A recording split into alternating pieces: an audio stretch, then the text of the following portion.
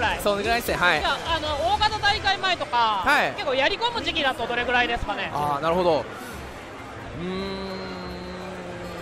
ん。まあやそうです。大型あの大会の前とかでもあんまりなんでしょうね。あんまりせあればそのイベントこういう新宿スプランドでイベントがあれば全然行かせてもらったりするんですけどもあんまりそこまで意識して人が集まる場所に行ったりとかはしたことはそこまでないですね。はい。なのでまあ気楽にやってる程度 まあなんか怒られるかもしれないですけど。あはい、あまりそこまで根詰めてやってないですね。はい。じゃあ普段からあんまり気負わずに自分のペースでやってるって感じですかね、はい、そんな感じです。はい、ゲームは楽しんでなんぼだと思ってるので、はい。なるほど。わかりましたではえーと次にあ小田さんまた後ほどお話を伺っていただきますのでえーとじゃあ次にあのブレイブルーのはい。対戦内容の感触ってあのー、もについてお伺いしたいんですけれどえっ、とクロノファンタズマ。そうですねってことですかねまあはいブレイブルーシリーズでもいいんですけどあ、はいはい、なるほどプ。レイしててどういった部分が楽しいとかあーなるほど。ブレイブルー、そうですね、あのー、こうよく格ゲー格闘ゲームやったことない人が格闘ゲームにはまるこう理由としてこうコンボがしたい、なんかド派手なコンボがしたいとかだとあると思うんですよ。ブレイブルーそんなコンボ、まあ、ちょっとキャラによってまちまちかもしれないですけど、そこまで難しくないと思うんですよ。はいはい。まあ、ちょっとやり込み、やり込むってなると、まあ、その辺のそれ相応の難易度は必要にはなると思うんですけども、はい。まあ、そうですね、そういうちょっとコンボが簡単なのかなっていうところは結構いいんじゃないのかなと、これすごい思いましたね、はい、あのギルティとか結構あのキャラ、相手のキャラの体重あるじゃないですか、あれで結構なんか、やっぱ基本コンボすら変わっちゃうんですけど、そこまでこのゲーム変わるゲームじゃないので、まあ、コンボがしやすいから結構とっつきやすいゲームだとは思いますね。あとはそうです、まあ、ブレイブルー全体としてはそうですね、クロノファンタズマは、まあ、オーバードライブは結構いいシステムなのかなって思いますね、はいあのオー見栄えもいいですし、ね、はい、はいはい。オーバードライブはどういった部分が好きだったりするんですかね？そうです、まあ、思いがけない、いややり込み、やり込んでる人からすると、なんか思いがけないところからこう倒せたりして、はい結構なんか見まあのギャラリーの映りもいいんじゃないのかなってこう、そういう人にもおすすめ。わかりました、あ、あのー得意キャラとか苦手キャラってい。たりしますか、そうですね、実はまあ、得意キャラ、今から戦うラグナサブラッテッチは結構得意キャラだったりあはするんですよね、はい。え結構いろんな人にもそこまでは上げてないので、まあ、今までのその培った経験値で小型さんに勝ちたいと思っております。はいー、ラグナが得意な理由としてはどういった部分が得意なんですかね？そうですね、なんかなんなんなんだかんだで勝ってる、まあ、なんか結果しか見てないんですけど、うはいはいーんなんか理由を、なんか勝ってる。そうなんですよ、なんか勝ってるんですよ。相性がいいんですかねプレイヤーとか人とかで。多分あのラグナラグナに勝てない人っていうのはなんか結構何使ってもちょっとあんまり劇的に変わるわけでもないって感じなのでラグナに勝てない人は全然勝てない。ラグナに勝てるって人は結構なんか、まあ、どのキャラ使ってもやり込めれば勝てる。いやそんな感じな印象なんですけどね、はい、あとはそうですね得意キャラあとは、まあ、神楽とかもあんまり負けないですね、はい。あのやってて結構楽しいキャラのだと思ってるので神楽は結構いいいいいいキャラだと思いますね、は対戦してて結構い、楽でそうですすね、はい。まあ、楽うん楽楽だとは思いますね、そんなに。困らされるキャラ困らされたりしてないしたことはないです、あはい、なんかもう結構対処できちゃうって感じですか？アズラエルで。そうですね、もう、あのーまあ、立ち回りやすい相手っていうんですかね、まあ、事故るときはそれ、事故って死んじゃうんですけど、気をつければ、こっちが気をつければ、あのーそれだけ勝率にあの影響するキャラなので、まあ、自分の自力が出るキャラなのかなって、ちょっと思います。わかりました、はい。えーとですね。ではですねあのニコ生の枠があと30秒ほどで終わっちゃうんですけどあはいはいあのツイッチ TV でも同時配信してるので、はい、えー、なんとかな、まあ、リスナーさんはそちらでもお楽しみください。あのコメントはちょっとニコニコでないんで、はい。出なくなるんですけれども、まあ、こんな感じで進めていこうかなと。了解です。はい、思います。で、えっ、と、本配信は21時からの予定ですので、えー皆さんよろしくお願いします。お願いします。では続きは、えー、ツイッチで、えーよろしくお願いします。ニコ生ではまた21時からよろしくお願いします失礼します。はい。では次に。はい。苦手キャラって。あ苦手キャラ。はい。そうですね苦手キャラ。まあ結構キャラ的そのアズラエルのアズラエルっていうキャラ的にもきついのがノエル。ノエルですね。あの追っかけられないしいろいろちょっと立ち回りにくい相手なんですよねノエルノエルは。はい。だからノエルはやっぱいろんなアズラエル使いが苦手だと思ってるしちょっと俺個人的にも苦手かなとは思ってます。ねはい。そうなんです。よ結構走回れるあああの走り回れるだけで結構、しんどいんですよね。的を絞ら的を絞らせられないように動き回れると。攻撃を当てづらいって感じそうなんですよね。であっちのはい。タッチシートかジャンプシートが結構引っかかりやすいので、はいはい。そうなんですよ。そこがちょっときついかなと思いますね。はい。じゃあ機動力で結構そうなんですかき回されちゃうんそうなんですね機動動力高いキャラが結構総じて苦手あのだアズラエルはダメなのかなってあのあとははい。そうですね、その、えー誰だっけな、えー機動力、機動力、そんな感じ。あとははい。か苦手キャラっていたりします、あーそうですね、苦手キャラ、あとは、あーそうですね、ちょっと最近、バング、バングもそうですね、あの前作はあの空対空に付き合わなければ、あの空対空されても安かったんで、まあ、最悪空対空されてもってところあったんですけど、今回、空対空のリターンがもうすすごいので、そこで一気に、あのー置き攻めされて死んじゃうっていうのはありますね、グローラーの無敵もなくなっちゃったので、無敵技なくなって、で端に置き攻めされやすくなったっていうところが、結構、バング戦はきつい、すごいきついポイントになってますね。はい。わかりました。じゃあ次にもうそろそろブレイブルシビューあ。終わっちゃいますけど、はい。アーケードではあの煮詰めきれていない部分とか今後の課題点って何かあったそうですね、あのー、各昇竜に、あのー、昇竜などの隙の大きい技に対する最大反撃なんが、なんか結構自分適当だったりするんですよ、意外と。はい。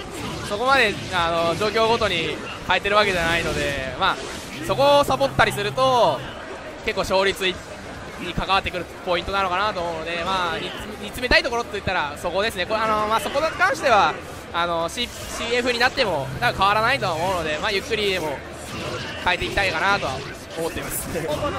そうですね、はい、わかりました。じゃあ CF までにはい。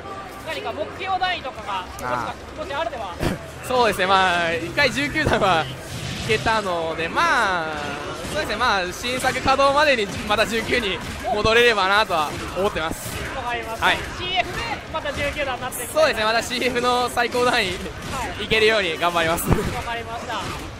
あのトレーニングモードとか個人練習って何をしてますでしょうか？そうですね、まああのーまあ、先ほども言いましたけど、やっぱ、あのーその各相手のキャラの技に対する反撃の仕方などは今でも、あのーもうブレイブル始めてからずっとそれはもう今でもやってますしあとはいろんなキャラのコンボ練習もしてますね。あの他のキャラのコンボ練習するっていうのはあのーコンボミスりやすいポイントっていうのが分かるので、あのー要はポイントそのポイントをミスりやすいポイントのところでミスったらバーストを剥がないで。済むんですよね。で結果的にバーストの温存につながるので、はい。逆にまあそこの難しいポイントっていうのを過ぎたらそこでバーストすれば、まあ、そこでコンボが終わって、まあ、流れを戻せるっていう考えが 考えがあるのでそこはちょっと意識してますね。はい。じゃあバーストのポイントの判断の練習みたいな。そうですね、はい、あのまあ、キャラのコンボ練習をほどほどに、まあ、実は実はここでミスりやすいんだなっていうのを結構、はい、自分で試してみて。そうですね、はい、へーじゃあ結構いろんなキャラのコンボを試してみたりして、まあ、そうですコンボ練習するだけだったら、暇な時とか結構やってます。なるほどそれは家庭用も利用してっていう感じですか？あそうですね、家庭を、はい、わかりました。じゃあアズラエルの練習はどうですかそうですね、まあ、アズラエルもメインキャラなので、もう基本コンボからもう、やるときは基本コンボからもうみっちり、えに もう何度何でもやってもあの損じゃないので、基本コンボをしっかりやりつつ、まあ、ちょっと応用応用コンボも、はい。はいほどほどにみたいな、まあ、7-3 7-3ぐらいですかね、比率的にはやるとやるときは。そんぐらいでやってます。だから基本コンボ大事だと思うので。ミスらないの大はい事ですもんね、そうで。すよね大会全然ミスるんで。はい。はい、いざという時に役に立つんじゃないかなと。練習したところが。はい。じゃあ、えーブレイブルーシリーズで注目しているプレイヤーって誰かいますか？注目してそうですね。ブレイブループレイヤー。あ自分なんかがこう上から注目してるなんてちょっと言っちゃっていいのかっていう思いますけど、まあそうですね。あの例えば今度東進祭ですと、まあ、そうですまたちょっとあの関西勢のあのガリレオさんたちやあのガリレオさんたちがまたちょっと奪還しに来るのかなって気はしますね王者の王者の座を。なるほど。い関西勢のメンバーが。そうなんですよなんかイメージとしてはなんかこう毎回関西 VS 関東みたいなちょっとなんか風潮っていうんですかねなんかはいあると思うんですけどもそうですね。こなんかここ今年あの今回結構関東が勝ってるのでまた関西が 奪還しに来るのかなところはちょっと第三者第三者間としては思いますねもちろん東進祭明日の東進祭自分も出るので優勝を目指しますけどはいはい。まあでも関西勢もなんか頑張ってるわけじゃないないんじゃないかなと思ってるみたいな。そうですねはいわかりました。じゃあそうですね。個人個人を注目しているとかじゃなくて関西勢みんなを。あそうですねはいはい、了解です。じゃあ次に、えーと、本作がうまくなるコツですね。コツはい、どういった？か。そうです。部分が得意なんだよねとか、はいはいはいはい、あります。あのそうですね。あのー相手の選択肢に対する答えをの出し方っていうのはアズアズラエルでの出し方っていうのは結構自信あるですよね。あのー分かってる行動だったら結構潰す潰せる自信は それに対するあの潰せる自信はまあまあまあまあありますね逆に分かんないことされると結構 ひよって死んじゃう。なるほど。あっという間に死んじゃうっていうのはちょっと悪いところ自分の悪いところかなっていうのはありますね。対応力がちょっとあのー少ないのかな低いのかなっていうところ。はいはい。はい思ってます。分かってる行動であれば、結構的確な対応ではい返す自信があるそうです。はい。ありますねそこら辺が結構アズライル使う上で、そうですすげえ大事な部分だと思います。かなり勝率に影響してきます、対応力のそうですね。はい。あのーアズラエル結構ああ見えてああ見えてなんかちょっと繊細っていうかそうなんだ。あの細かいところがちょっと難しいキャラああ見えて。ああ見えてなんです。けどねオラオラしてるわけじゃないんですそうよね。ですよね。へー。オラオラしてるだけならある程度はやっぱいけるんですけどそのある程度からどこもいけなくなっちゃう。そんなキャラだと思うんですよ。はじゃあ、そうですね、なんか、アズワイルで、こう、1枚、なんか、成長するためには、はい、そういった対応力を磨く部分が、そうですねあどっちかっていうとやっぱ相手のキャラの理解度の方が最終的には多くなるのかなって思いますわかはいりました。はい、えー、じゃあ次に、近々、もう、本当ですね、はい CF 化の稼働が控えていますけれども、こちらの作品もやり込む気満々ですか？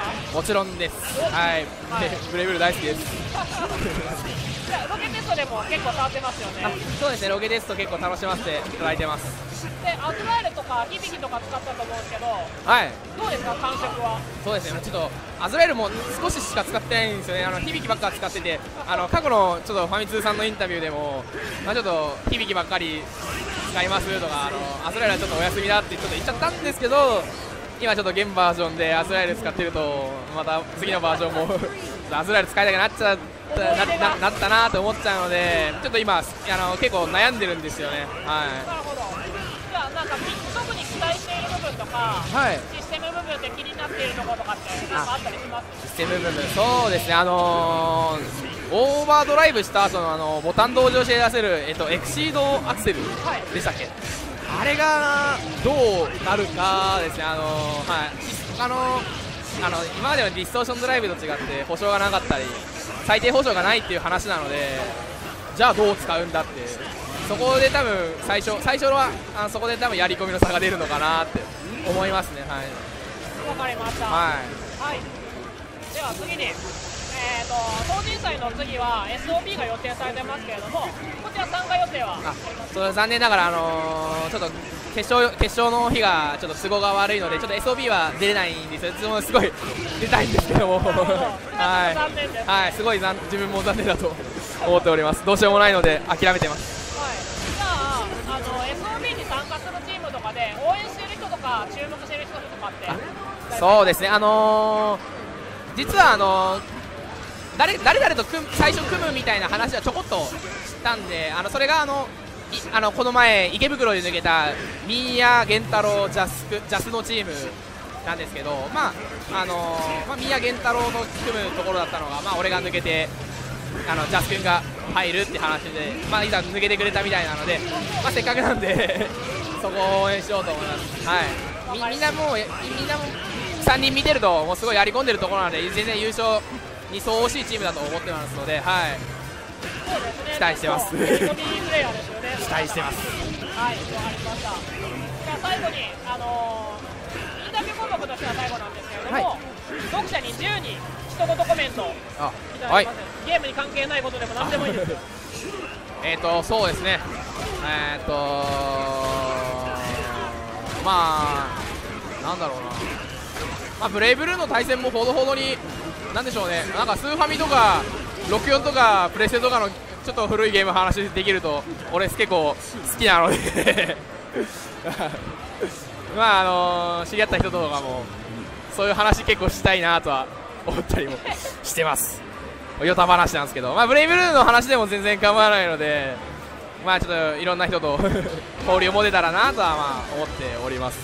はい。たまに配信もしてらっしゃいますもんね。あそうですね、はい、ほど。じゃあ了了解です。そんな感じでいいですか、一言コメント。わそんな感じで、はい、だ大丈夫、大丈夫です。かりました。じゃあ、えーと次ですね。さあのーあまあキャラランクですね。はいはい、キャラランク、ちょっと待ってくださいね。キャラ一覧を出すので。あはい、あのあキャラランク、実はちょっとまとめてきたんですよ。あ、そうなんですか？はいあじゃあお願いします。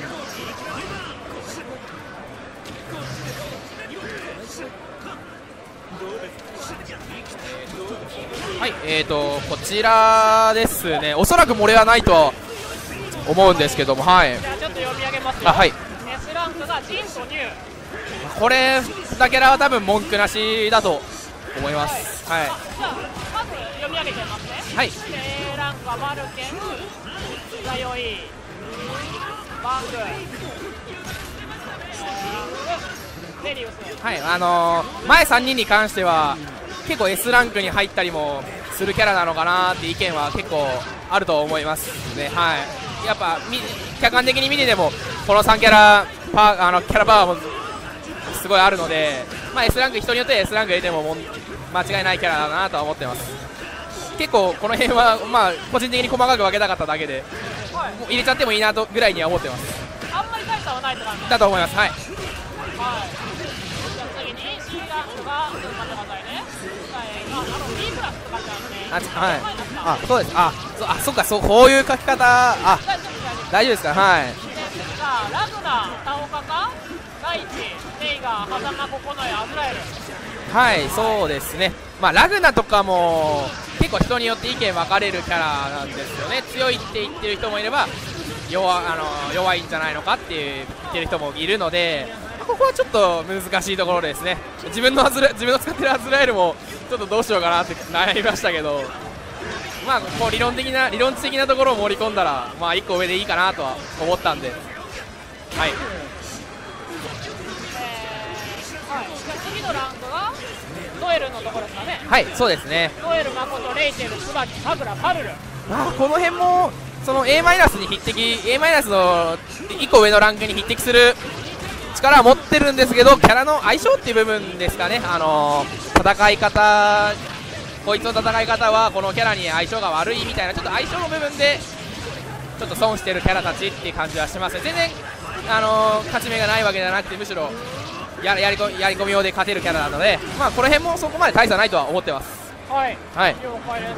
じゃあ次に、テルミラブダ、ミュウ、白面、プラチナ、バレット。はいまあここら辺からはちょっとまあ、なんていうんですか、いわゆるちょっと弱キャラみたいな、ははい。結構言われちゃうようなキャラたちですね、まあ、ここもでも全然俺戦えるキャラだとは 思ってるので、はい。あのーまあ、あ使ってる人たちはちょっとめげずに っていうのがちょっと個人的な願いではあります。はい。はい。あまねあラクネセリカですね。あこの3キャラは結構誰誰でももう9人いや10人中9人ぐらいが多分ジャッキャラって言っちゃうキャラなのかなって気がしますね。もちろん、あのーそれぞれ3キャラ強い部分あるんですけども、まあ、その強い部分潰されやすくて攻め手がちょっとその強い部分1つしかないっていうところ自体がなんかマイナスポイントになっちゃってるのかなそんな気がしますね。そういうところでまあちょっと一番下のランクって感じですかね。はい。はい。じゃあ注目キャラとしてなんですけどどうかな。まあお使いのアズガエルは、はい。まあ最上位ランクとはちょっとまあ、そうですね、はい、あの、はい、立ち回りがちょっとやっぱしんどいので。そうですね、はい、あの火力とか、あのーその部分で、まあ、ちょっとランク上げてるんですよね。はい。はいはいはい。わかりました。まあ他にはそうですね、そこの下、はい。なんかこのキャラは自分あんまり評価してないんだよねとかこのキャラ結構評価してるんだよねっていうのありますか？あ、そうですね、えっ、と。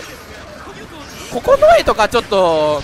ここの絵、神楽あたりはちょっと微妙なキャラですね。こいつらも。うーんここの絵も、すごい強み自体はいっぱいあるので。どうかなーってところですね。はい、困る、あの結構言いたいのが、この結構今回なんだかんだでバランスいいんですよ。バランスいいので、あのランク分けしづらくて、それこそずっと結構悩んでました、実は。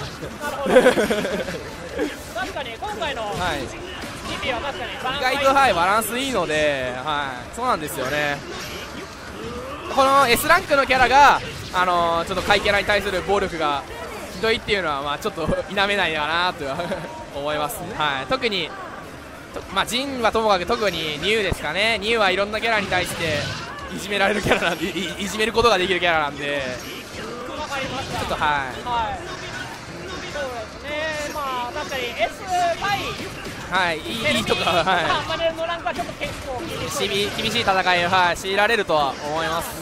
まあ、細かく、まあ、ランクは一応分けては見たみたいなんですけど、はい、そこまで上下に差はあるっていう感じではないそうなんですよ、はい、はい、俺は少なくとも自分はそう思ってます。はい、わかりました、はい、じゃあインタビューは以上ですね。はい、はい。ありがとうございました。ありがとうございました。足りない部分とかがあったらまたこれていただきます。わかりました、はい、その時はもう答えさせていただきますので、はい、ぜひぜひよろしくお願いします。はい、でですね。21時まであと5分なのではい。了解です。準備のほどはい。ありがとうございます。頑張ります。はい、失礼します。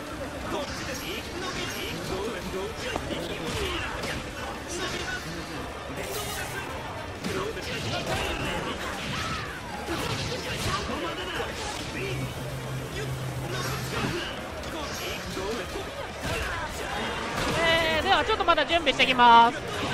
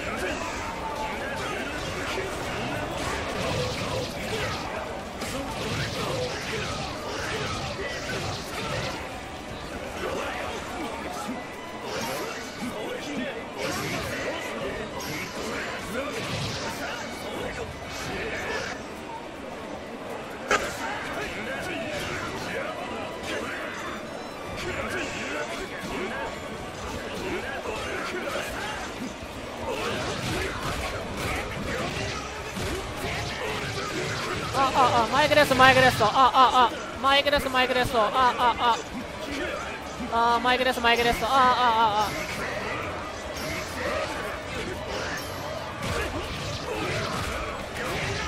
あああマイクですマイクですあああ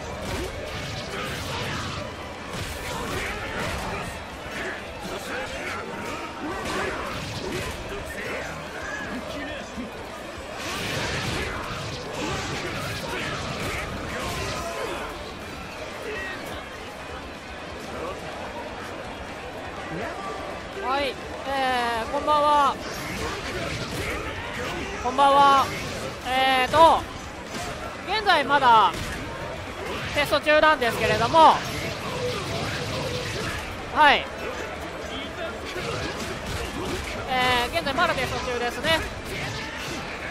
どうですかね、あのゲーム音ゲーとマイク音のバランスとか、あとゲーム音の音ずれとかですね、問題ないですかね？大丈夫ですか？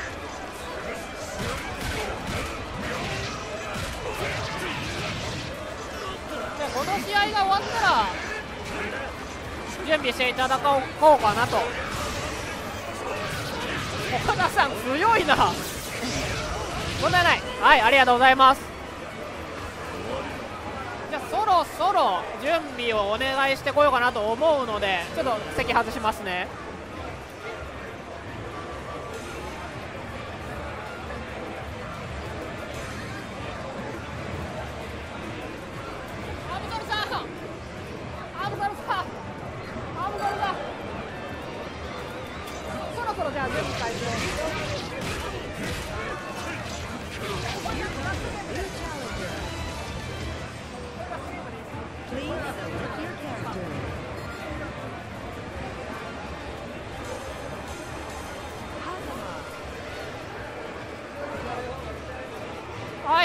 は、ですねこれがラストゲームでこの試合が終わったら、えーいよいよ開始していこうかなと思います。ということでですねこれをやっている最中に、えーリスナーさんにですねまたお願いがございます。えーこういった配信はですね見てくれる人が多ければ多いほど次がやりやすくなりますのでぜひともあのー、ツイッターのねツイートのご協力をお願いしたいなと思います。あの配信画面のね右下からツイートボタンがありますね。でここから、まあ、この配信見てるよっていうようなことをツイートできるようになってますので、えーぜひとも宣伝のねご協力をよろしくお願いします。ああと広告ありがとうございます。せっかくねあのーまあ貴重な機会なので関西勢を関西勢じゃないか。担当勢以外の方をねお呼びすることができる貴重な機会なのでまたこういった配信をねやれればなというところでございます。見てくれる人が多ければ多いほど次の配信がやりやすくなりますのではいありがとうございます。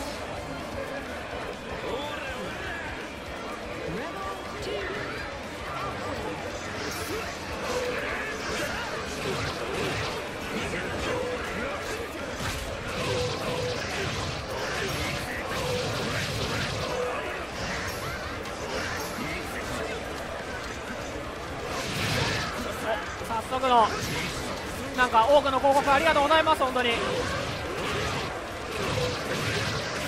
やもうフォロワーとかね全然関係ないですよ。ツイートしていただけるだけでご協力いただけるだけでかなり助かります。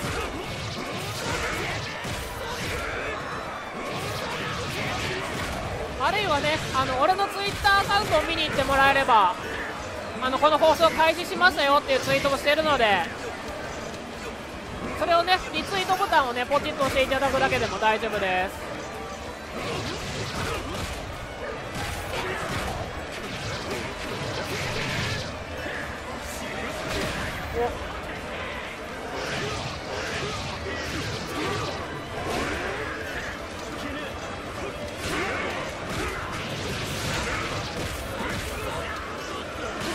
お早速リツイートしてくれた人が何人も。ありがとうございます本当に。さ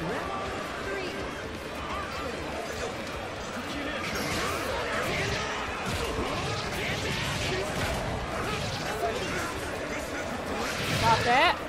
あ。じゃあちょっとひとまず準備してきますね。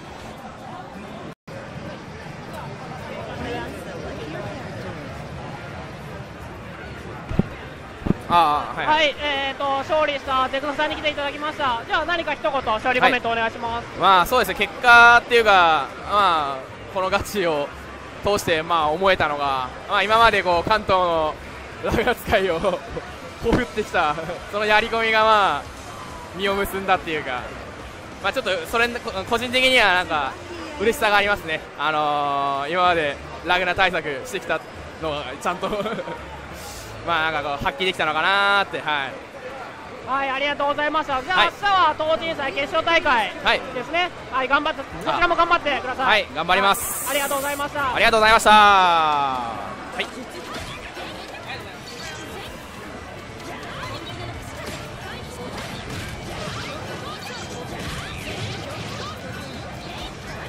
はい。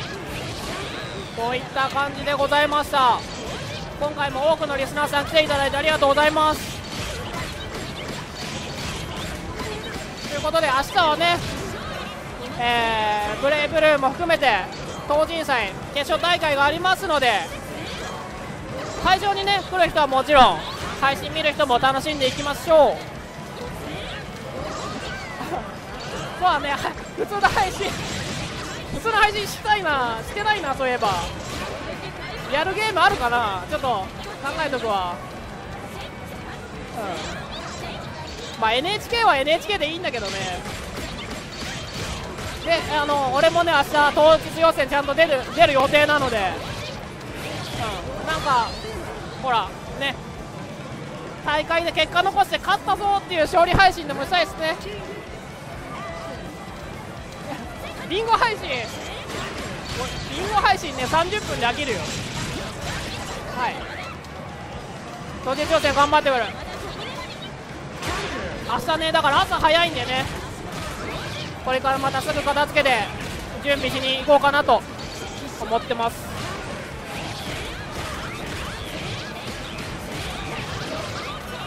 ああ。いや同人祭の配信はやんないっすよ。あのそういったさすがにあの会場を借り切ってやる決勝大会クラスのはね会社で請け負う方たちとかななんとか信用のある会社で受ける方たちがやってくれるんでね大丈夫です。あの期待していいと思います。ということでじゃあちょっと片付けに入るので残念ですがノーズ被害はちょっと配信できないと思うんですけれども配信終了まではまあちょっと垂れ流していくのでそんな感じで。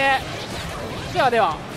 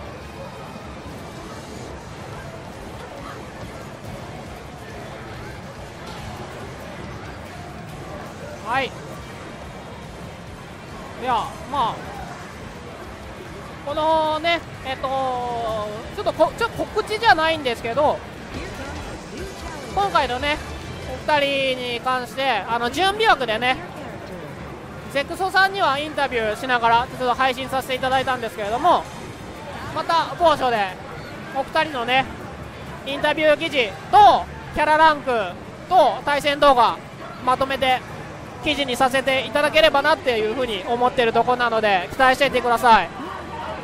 次回はね結構早めに更新していただけそうかなっていうところなのでまあ楽しみにしていただければなと思います。であのー、なんとかなこういう配信しますよとかあとこんな記事アップしましたよとかはまあ俺のツイッターでもね報告するんでよければフォローしてやってください。えーアカウントは番組の説明欄に書いてあります。で普段ねどうでもいいようなことツイートしてるんですけどまあ本当にくだらないことしかつぶやいてないんであれなんで気が向いたらで大丈夫です。よろしくお願いします。はい。そう今ねちょっとグラブルで変えるとタイマー張ってっからさ。うん。そのことしかつぶやいてないんだけど。最近ね20人ビンゴでねスーパービンゴしたら機嫌いいんですよ。そんな感じです。じゃあこの試合終わったら配信終了しますね。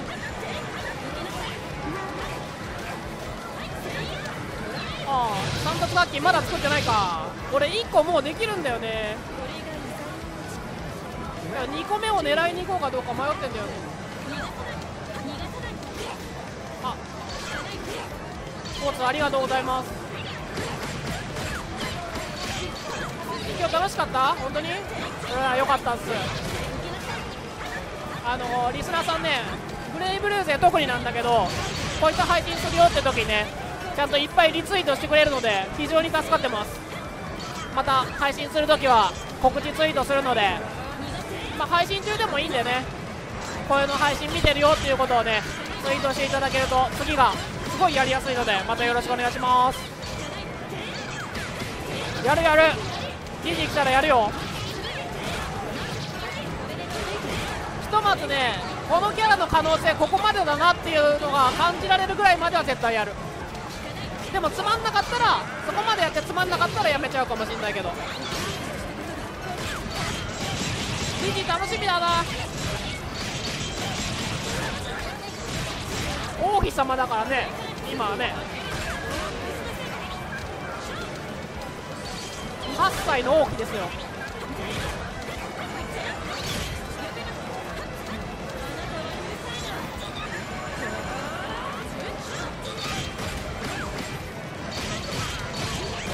あおかか早えな。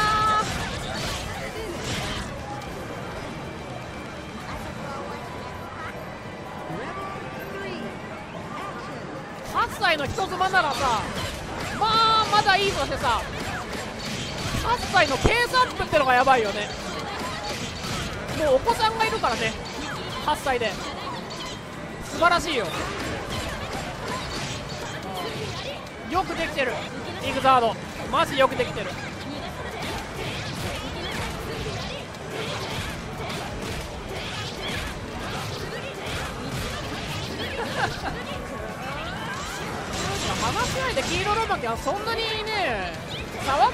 能力じゃないと思うんだけどね。まあ性能によるけどさ。タンデムロ黄色ロマキはやっぱ変わんないような気がするんだよな。いや俺いいこと言ったでしょ今。8歳の計算部だよ。素晴らしいです。よそこだけでもね石渡さんに足向けて寝られませんよ。俺ね何票かな300票ぐらいかな。れぐらい入れたような気がする。そんなに叩けなかったかな。300は言い過ぎだわ。200かな。200ぐらい入れたような気がする。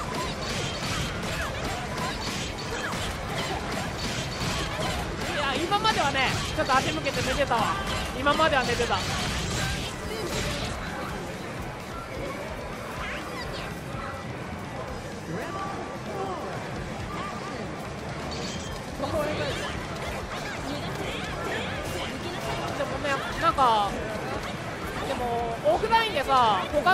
ちゃんと戦力活動しててさ。なんかね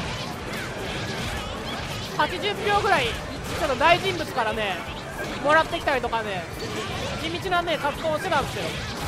でそれがなかったら当選しなかったしあちゃんとやっといてよかったって思った。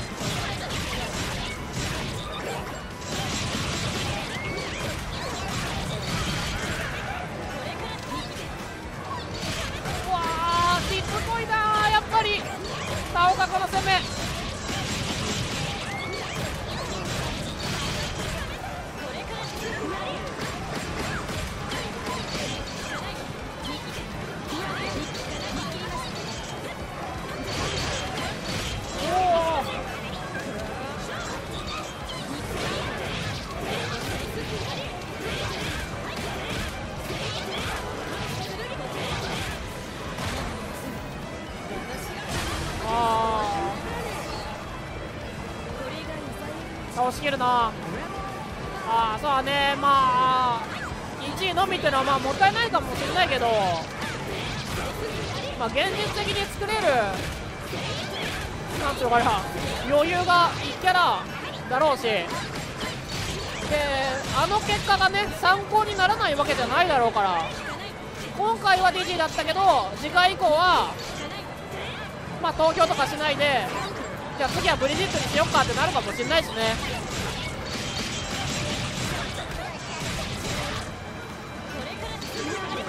白かったですね選挙は。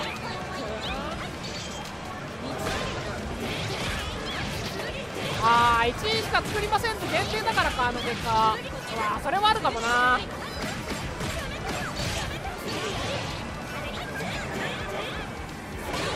まあにしても上位4キャラはちょっとぶっちぎりだったね。ディジー、ブリジット、バイケン、セイソル、まあ、他のまた